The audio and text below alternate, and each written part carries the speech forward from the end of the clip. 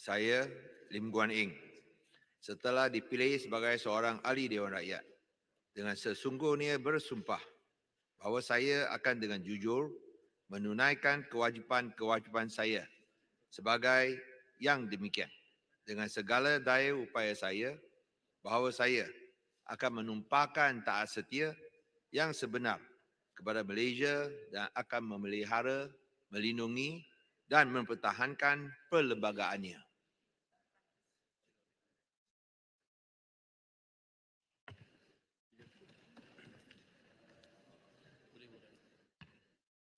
Bismillahirrahmanirrahim.